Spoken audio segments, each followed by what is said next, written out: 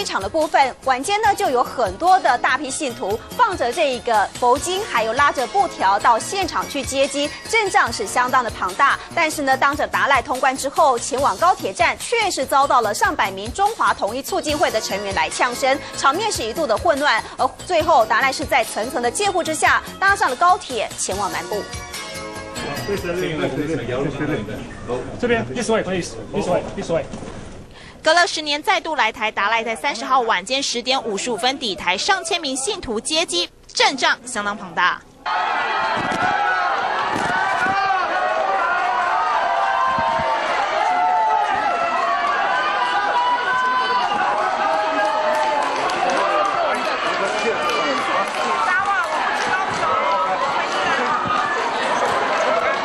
两边都是满满的人潮，达赖高举双手向大家致意，让信徒的情绪相当激动。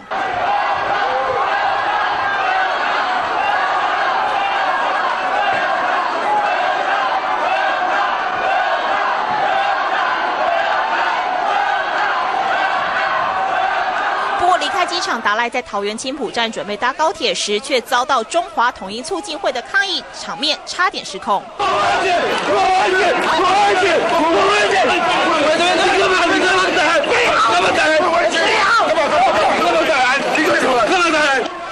枪下民众一路跟随，场外还有人举起抗议的布条，在混乱中达赖的表情稍显惊恐。